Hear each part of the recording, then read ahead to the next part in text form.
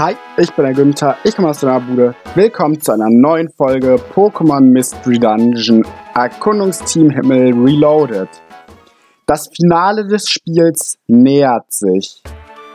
Oh, hier gibt es sogar noch eine Szene.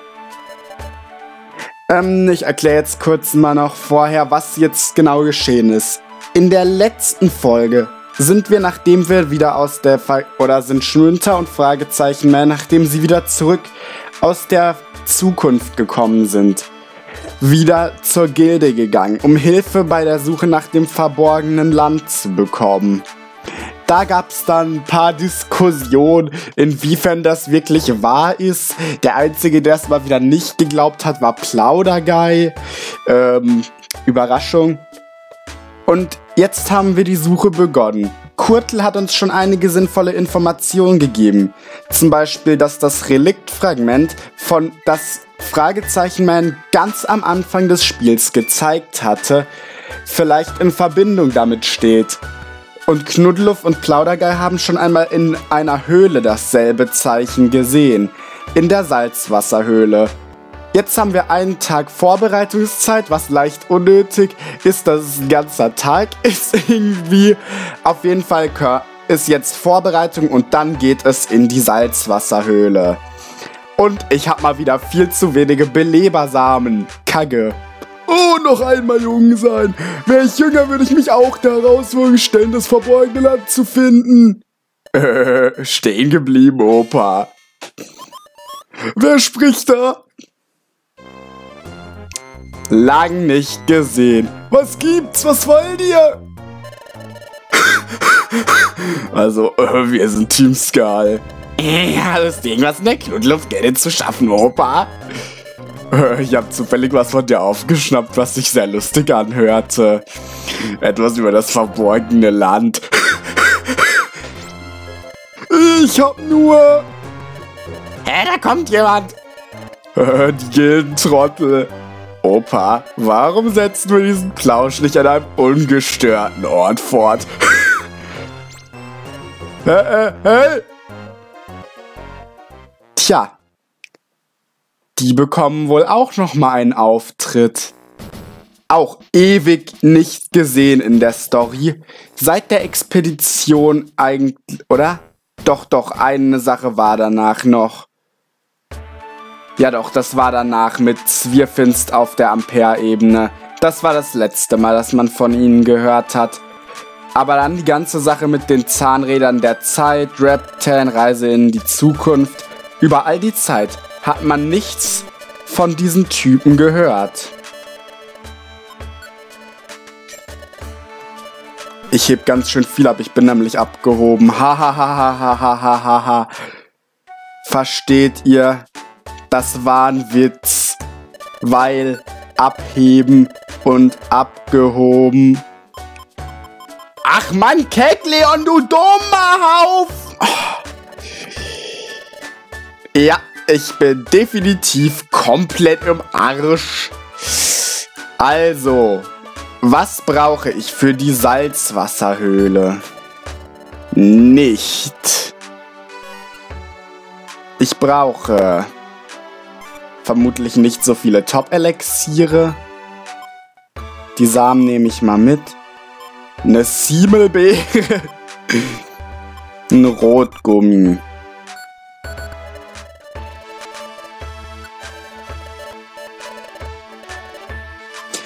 Was nehme ich mit? Die Sache ist die. An sich, es ist ein Fakt, was? Silbert habe ich auch so wenige? Was ist denn? Oh. Warum? Warum habe ich in Mystery Dungeon Team Himmel immer viel zu wenige Items gegen Ende? Nicht Plosivsamen, Heilsamen will ich. Meinen Reinsamen nehme ich auch noch mit. Hä? Bin ich gerade irgendwie dumm? Hier, einen nehme ich mit. Eigentlich sind zwei zu wenig für die Salzwasserhöhle. Aber es bringt ja alles nichts. Einer ist auch zu wenig für das danach. Ich bin einfach itemtechnisch mal wieder komplett im Arsch. Das ist an Team Himmel immer das Tolle. Hier, nimm mein Geld.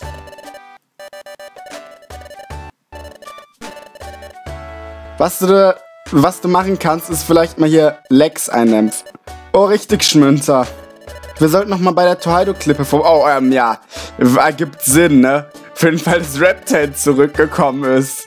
Ja, wäre ganz gut, wenn der auch mal Bescheid weiß, dass wir hier eigentlich jetzt gefühlt gleich ins verborgene Land reisen, so. Halte ich für sinnvoll zumindest. Der wartet einfach jetzt da zwei Wochen. Hallo, kommt ihr jetzt endlich? Ob Reptan zurück ist, würde ich gerne wissen. Gehen wir. Boah, das war jetzt wichtig. Ach, ein Moment.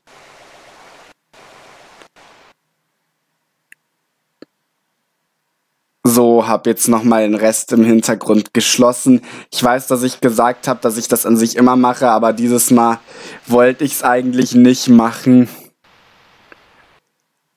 Hat auch seine Gründe, hilft offensichtlich auch nicht wirklich. Hm, da liegt ein Zettel.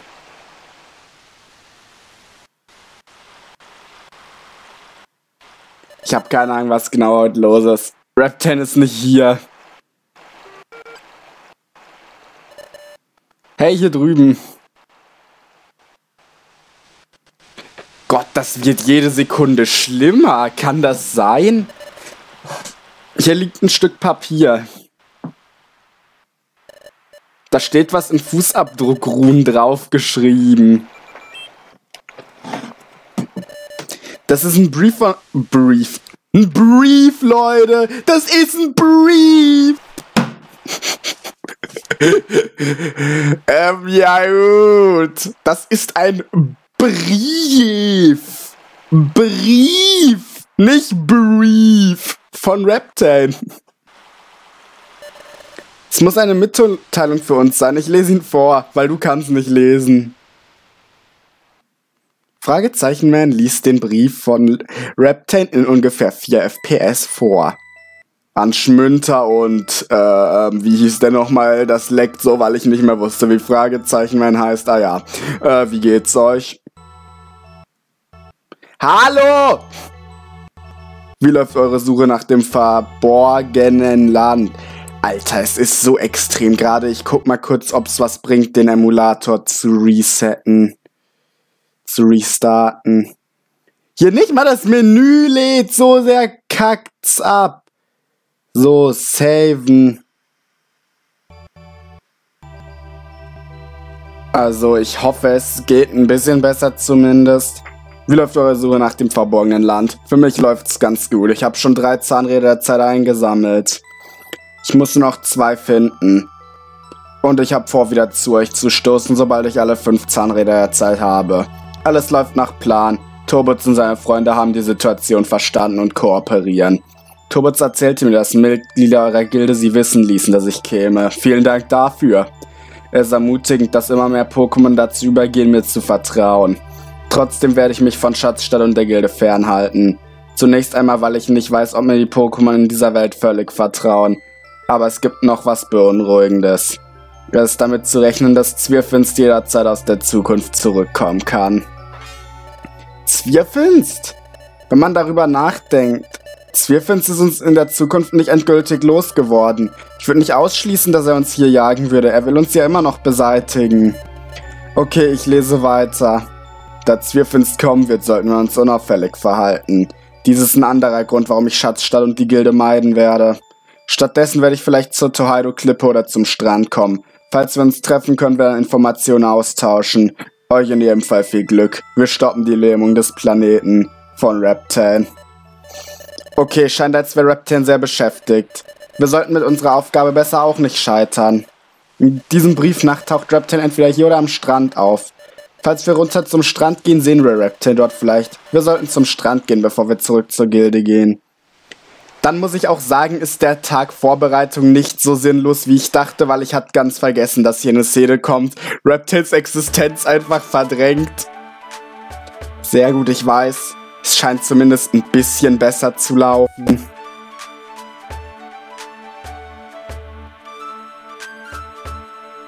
Also sorry, aber ich kann ja nichts dafür, wenn Reptane.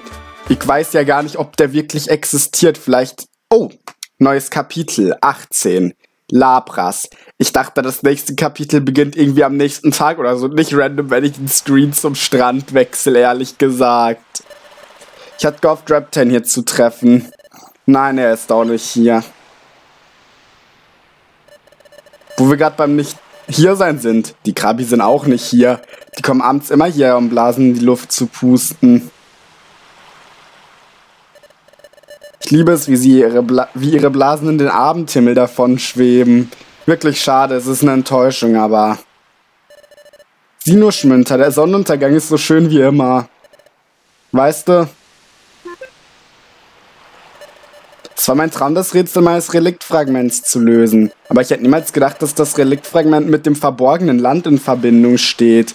Was sicher nicht daran lag, dass ich bis vor ungefähr äh, fünf Stunden nicht wusste, dass es existiert. Lol. Das erinnert mich daran, es war hier, wo Smogon und sein Handlager, alles klar.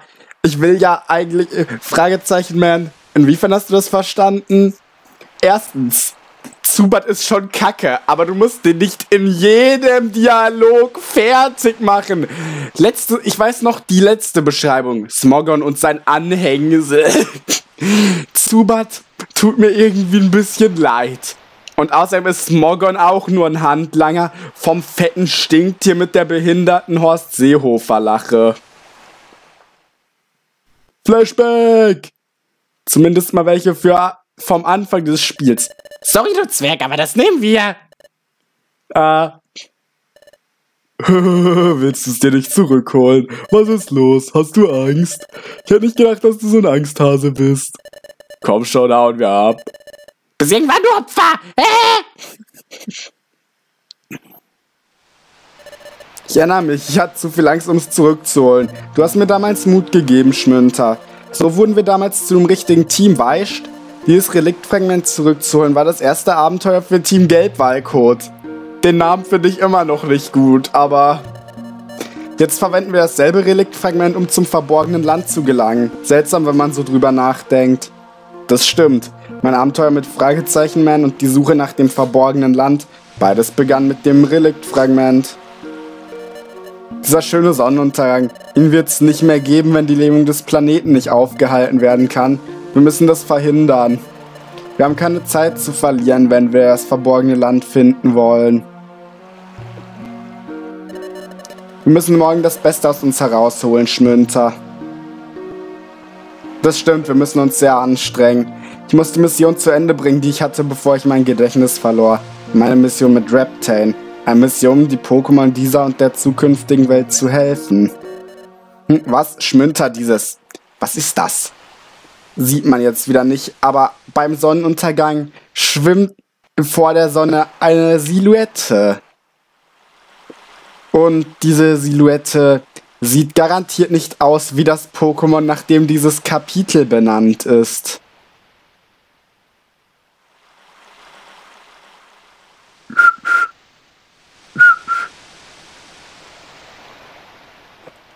Ich gehe kurz meine WhatsApps checken.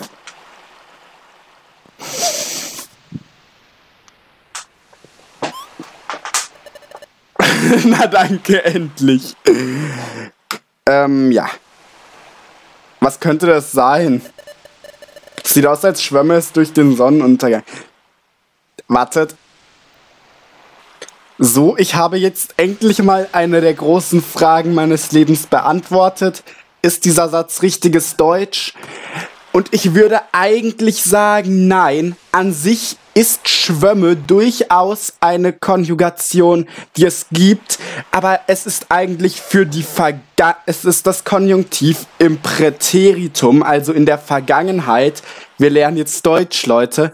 Und da das die Silhouette immer noch schwimmt, würde ich eigentlich eher Schwimme einsetzen, was das Konjunktiv fürs Präteritum darstellt.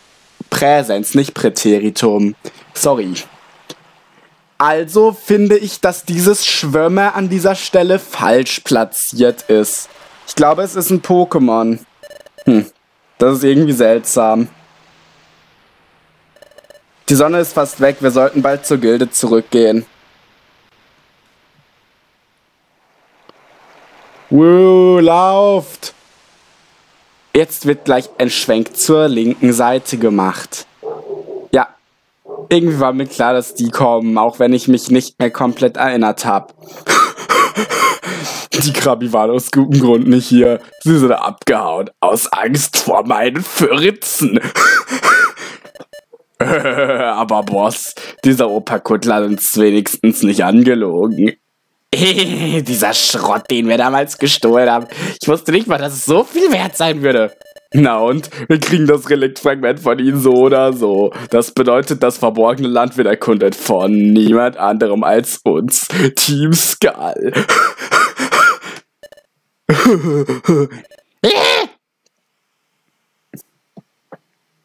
Boah, Synchronisation wieder perfekt meinerseits. So, ähm, ab in die Gilde, ab in Sonnenschein, Alter. Und das, obwohl es Nacht wird. Knudluff ist nicht da, hat er ja bereits angekündigt.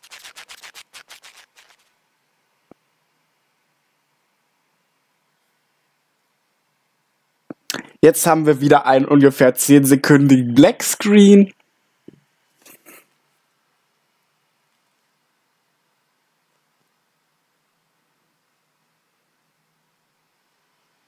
Pennen beide. Das war jetzt wichtig. Ach, da sieht man's noch mal.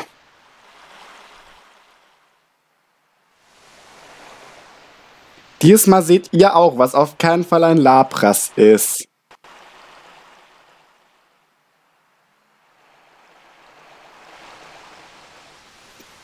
Und Knuddeluff. Lapras. Lang nicht gesehen. Zu lange nicht, Knuddeluff. Du, gut siehst du aus. Geht's Plaudergeier auch gut? Ja, sehr gut. Freut mich zu hören. Ich wollte dir schon immer danken. Ich weiß, dass du dein Versprechen, ich weiß dein Versprechen sehr zu schätzen und dass du es all die Zeit gehalten hast. Kein Problem, nicht der Rede wert. Aber heute, heute bin ich wegen dieses Versprechens zu dir gekommen. Unsere Situation erlaubt es nicht, dass wir uns an dieses Versprechen halten. Du weißt vermutlich warum. Also erzähl mir bitte etwas, und zwar über dieses seltsame Muster, das wir einmal gesehen haben.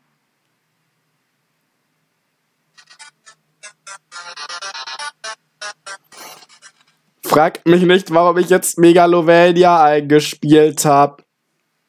Der nächste Morgen. Aufstehen! Pisser! Moin, moin. Ei, ei, Captain! Wer wohnt in der Ananas ganz tiefe Meer? Spongebob, Schwammkopf. Was ist eigentlich mit mir los in diesem Projekt? Kann mir das bitte irgendwer erklären? Ich will eine Erklärung für meine geistige Verwirrtheit. Ähm, und deshalb, wie ihr euch wohl alle bewusst seid, ist der Gildenmeister noch nicht von seinem Gang zurück. Trotzdem habe ich die Absicht, wie vorgesehen, zur Salzwasserhöhle aufzubrechen. Wir drehen uns alle verwirrt im Kreis. Hey, hey, hey, hey, hey, hey, hey. Wo wollte der Gildenmeister überhaupt hingehen? Äh, woher soll ich das wissen? Können wir dann ohne den Gildenmeister machen? Kein Problem, es gibt überhaupt keinen Grund für euer Bedenken. Der Gildenmeister muss entschieden haben, dass wir bis auf weiteres auch ohne ihn auskommen. Darum ist er bis jetzt nicht nach Hause gekommen. Außerdem habt ihr in Abwesenheit unseres Gildenmeisters mich. Ich kann euch anführen.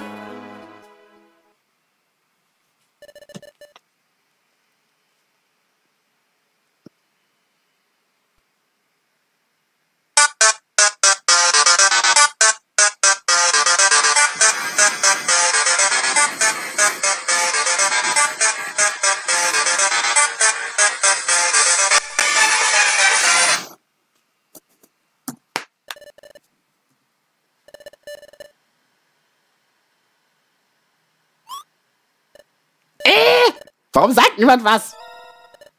Das kann nicht wahr sein! Meuterei! Leute, raus mit der Sprache. Bin ich vielleicht, vielleicht unzulänglich oder erscheine ich euch da als nutzlos? Ja, ja, das hast du sehr gut zusammengefasst. Äh, ja, ich meine, nein.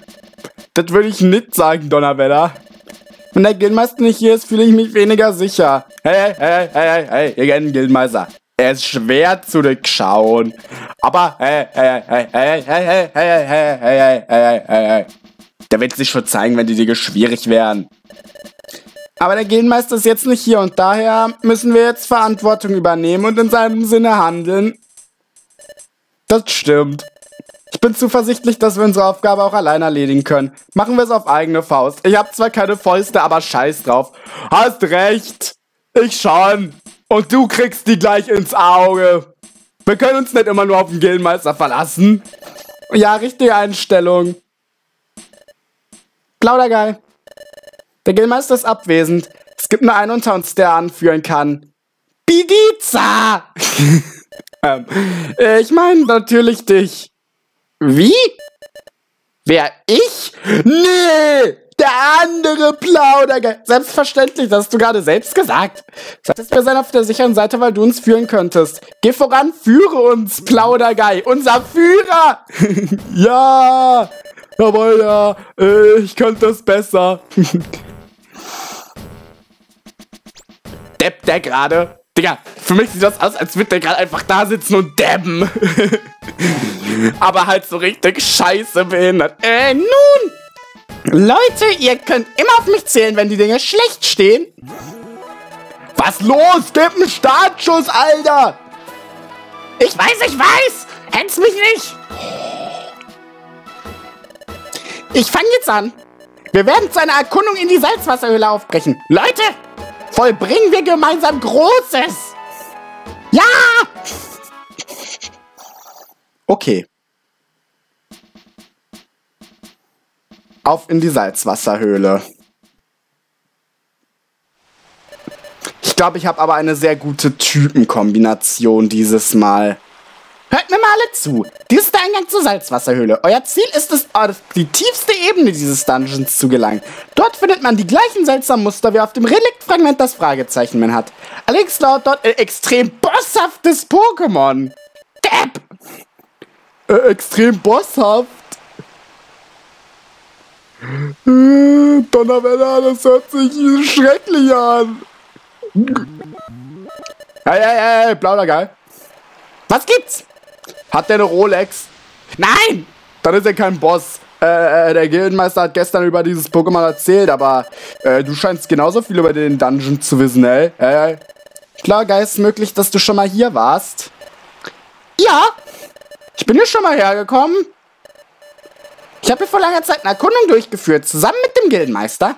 Tief in dieser Höhle haben wir dieses seltsame Muster gesehen. Damals erschienen diese brutalen Pokémon. Okay, also, äh, wie waren die denn so? Brutal, sagst du? Bosshaft? Äh, das weiß ich nicht mehr.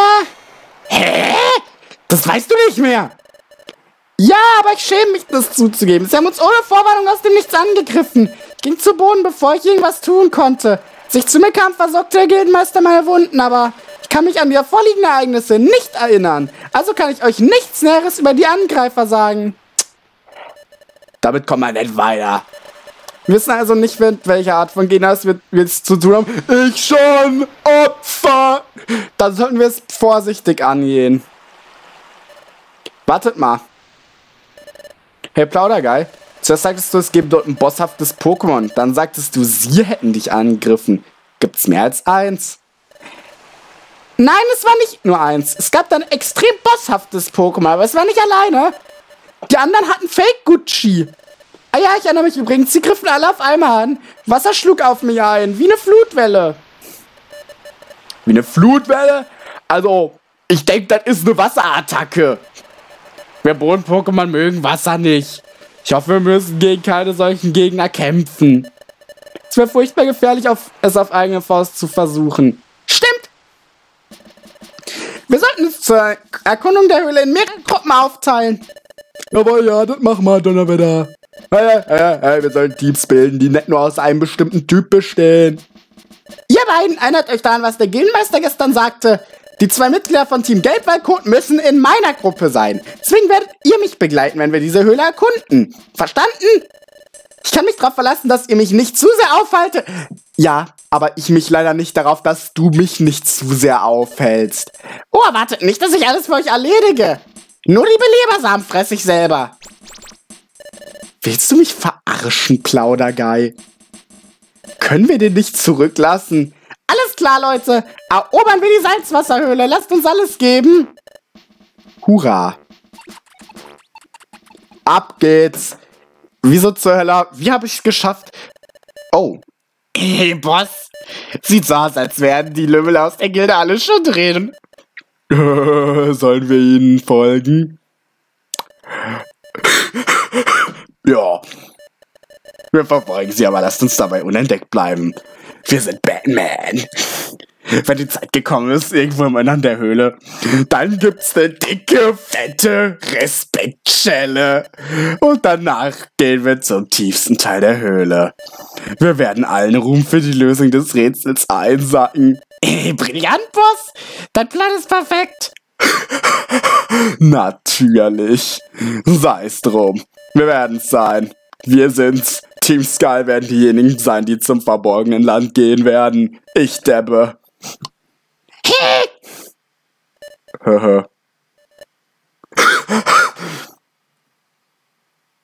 ich bin stolz auf diese Lache. So, Salzwasserhöhle U1. Auf jeden Fall sofort Safe. Ich habe übrigens, wie ihr seht, auch mal dreimal denselben Safe jetzt gesetzt, falls ich einmal aus Versehen einen überschreibe. Ich halte das eigentlich für sinnvoller. Also, wir sehen hier zum Glück, wie die Salzwasserhöhle sagt, einige Wasser-Pokémon. Und mit Shinux und Chillast als Kombi wäre das echt cool, wenn meine Genauigkeit höher als 7 wäre. Oh, erster Gegner Level 30. So, fast 100 Maximal KP bei dem Typen. Oh, bei mir auch. Also bei Schmünter. Das ist irgendwie voll komisch für mich. Ich selber sehe mich ja nicht selber als Schmünter an, sondern nur als Günther aus dem ersten Let's Play. Und trotzdem sage ich oft ich, wenn ich über Schmünter rede. Geld brauche ich nicht unbedingt.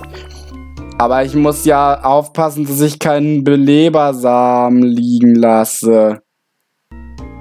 Und ich werde hier sehr oft saven. Okay. Die Ebene brauche ich jetzt nicht zu saven. die auch nicht. So kann es weitergehen. Ich habe kein Problem damit, wenn die Höhle gut läuft. Ja! Was? Noch mehr, noch mehr, noch mehr! Oh Mann.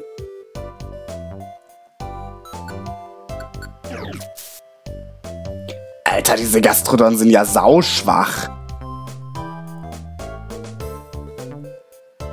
Ich hatte echt nicht im Kopf, dass die Viecher hier so wenig einstecken.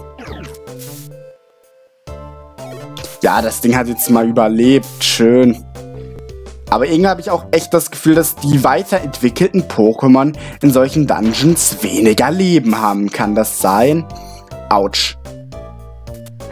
Plaudergeil, du Haufen Scheiße! Also, jetzt nochmal zu dem Punkt. Wir sollen Plaudergeil nicht blockieren. Der Typ, Alter. Da liegt eine. Da liegt eine Landmine. Landminen! äh, guckt euch Cards Against Humanity an. da liegt einfach eine Landmine auf dem Boden. Und der Typ denkt sich, ach, treten wir doch mal drauf und jagen alle hier in die Luft. Das wäre doch lustig. Also das Ding kriegst du hoffentlich auch selten. Was machst du? Plauderguy, warum hast du das Ding nicht angegriffen? Aber er lebt. Einerseits gut, weil dann kostet er mich keinen Belebersamen. Andererseits schlecht, dass er lebt, weil er ist Plauderguy. Junge, Genauigkeit. Oh, der Typ. Der gönnt sich haarig. Ja, ich würde sagen, noch diese Ebene, dann reicht's für die heutige Folge. Den Rest der Salzwasserhöhle werden wir dann in der nächsten Folge bestreiten. Das kriegt ihr beiden ja wohl hin. Er gesagt, Plauderguy braucht gar nichts zu machen. In der nächsten Folge geht es dann weiter durch die Salzwasserhöhle. Vielleicht werden wir auf Team Skull treffen und auf den bosshaften Banditen hier. Ich find's erstmal gut, dass ich jetzt innerhalb von vier Minuten Aufnahme noch die achte Ebene dieses Dungeons erreicht habe. Böllert. Wir sehen uns. Abonnieren, liken, stay hydrated. Was laber ich schon wieder? Ein Brief. Ciao.